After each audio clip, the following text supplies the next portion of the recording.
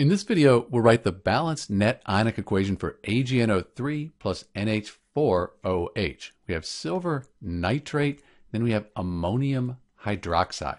So the first thing we need to do here when we write balanced net ionic equations, we have to balance the molecular equation. This is our molecular equation. And everything's already balanced here. That's kind of nice. Next, we can write the states for each substance. So if you know your solubility rules, nitrates, these nitrates, NO3, very soluble. So that's going to be AQ. It'll be aqueous, dissolve, split apart into ions. Ammonium compounds are also very soluble. So we're going to write AQ. For the silver hydroxide, silver compounds often are insoluble in hydroxides with a few exceptions like ammonium hydroxide or sodium hydroxide. But let's check a solubility table just to be sure. So we have silver and then here's our hydroxide. So we go down and we go over and we get SS. That means it's slightly soluble. A little bit will dissolve, but most of it won't. Most of it will be a solid. So for the purposes of net ionic equations, we're going to consider this to be insoluble. It's going to be a solid. Little will dissolve, but almost all of it will be a solid. These two will react. This solid AgOH will be a precipitate. It'll fall to the bottom of our test tube. So we have precipitation going on here. So we have our states. Next, we split strong electrolytes into their ions. That'll give us the complete ionic equation. So Ag, that's always 1 plus, the whole nitrate, 1 minus. So we'll have our silver ion, and I'll write the states later. We'll have our nitrate ion, NO3 minus.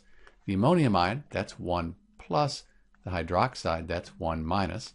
So we'll have NH4 plus, that's our ammonium ion, and then our hydroxide ion, OH minus. And those will be our reactants in our net ionic equation. For net ionic equations, we don't split solids apart. So we'll have AgOH. We'll just keep this together. And then we have our ammonium nitrate here. So we have the plus and the minus. So we have our ammonium ion again, just like the reactants NH4 plus. And then we have our nitrate ion again, just like the reactants NO3 minus. So at this point, we'll cross our spectator ions out. They're on both sides. So I have my reactants here, and then down here, these are our products. In the reactants, I can see there is a nitrate ion and in the products. So I'm going to cross that out. That's a spectator ion.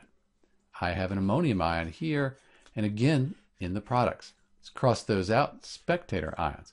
What's left, that's the net ionic equation for AgNO3 plus NH4OH. Let me clean this up, write the states, we'll have our net ionic equation. So this is the balanced net ionic equation for AgNO3 plus NH4OH, silver nitrate plus ammonium hydroxide. You note charge is conserved. We have a plus and a minus. That gives us a net charge of zero here in the reactants. In the products, this is a neutral compound, net charge of zero. If you count the atoms up, they're balanced too. This is Dr. B with the balanced net ionic equation for silver nitrate plus ammonium hydroxide. Thanks for watching.